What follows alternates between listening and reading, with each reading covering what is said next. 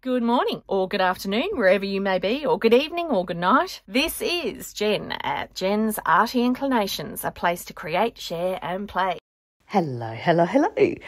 All right, now here I'm just showing you a whole heap of little tearaways that I did. And I was just doing a little session and I thought, you know what? I'm going to turn the camera on and share it with you all.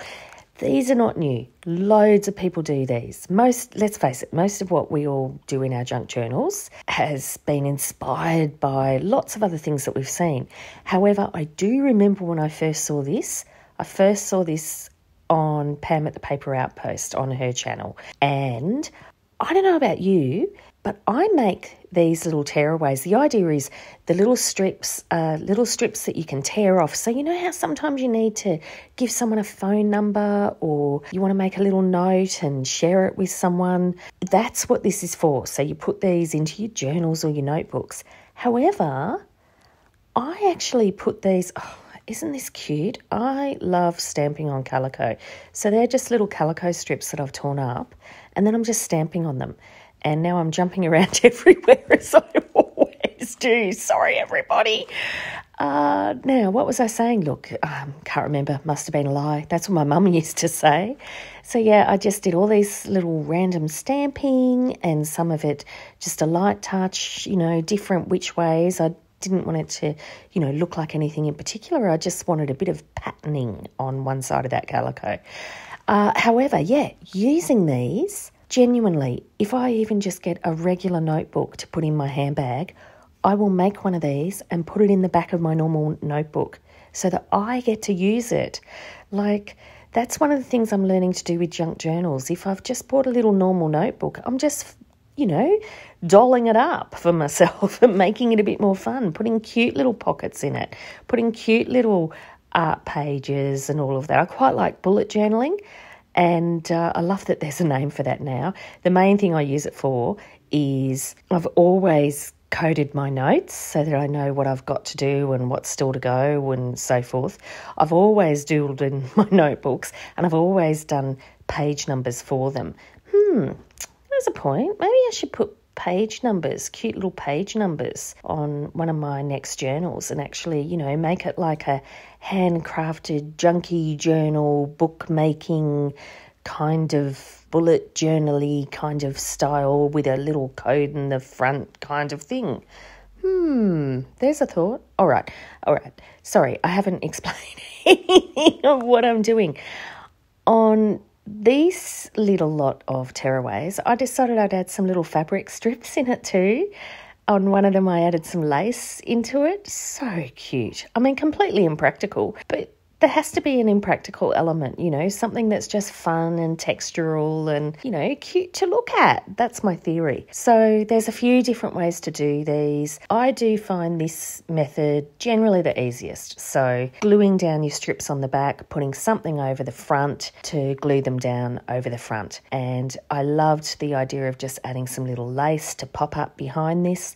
And that's really all I need to do because this is kind of in my colours, so it's probably, um, you know, practically a complete finished piece I can put into a journal. However, you can leave these really nice and simple. So you could even just do plain coloured strips and you could colour them after to match a colour of a journal, or you could stamp them after, like you could put a lovely stamp right across all your tearaways, just a faded stamp, and then it could be in the theme of your journal. As you know, I try and do themes, but I'm not really very good at doing themes.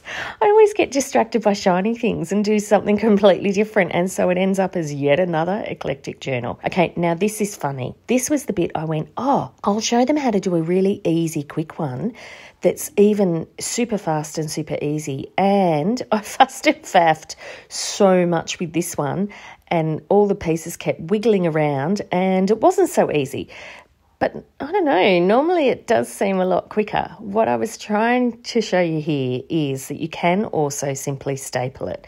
So I think it was a bit harder because I did the fold over. If you actually do it without the fold over, then you can just staple it as you go across. And sometimes that's really cool. You can just have a really simple rustic look. You don't even need to use glue, it doesn't need to dry, it can go straight into a journal. And then you can just, you know, cover those staples if you don't like them or leave them out for the rustic look. On this one, I decided I just wanted a little bit of something something in the corner. So that was a corner that was torn off one of the pieces of calico and a little teeny bit of lace there. So yeah, I just gave that a go. And this is over there, that little music bit. See there on the right? that was just the torn, like the cut edge off a piece that I'd covered with some uh, tea bag paper and a little bit of music page and so forth. And so that was the edge trimmed, and I just liked it, so I kept it. Now, this one I also did as you can have them on a full back. Now, that means that you could put them on a pocket without interfering with what you're popping in the pocket or on a page and you could decorate that little back piece that you're putting on there's lots of different things, you know, that you could do with that. So, yeah, I just thought I'd show you that. I mean, it's not hugely different, but it was different enough to be another way, right? And I was saying here that you could staple underneath that and then, see, cover it over. So, just another little method. And oh, isn't that cute? I love all the grunginess on that tea bag. So fun. I wish I can remember where I first saw that tip of using tea bags in your work, um, hmm, I cannot for the life of me remember, but gee, I love it. It's such a great way to get some sort of filtered tissue paper. Like some people use coffee filter papers, which is really cool. So, goodness, so many creative ideas.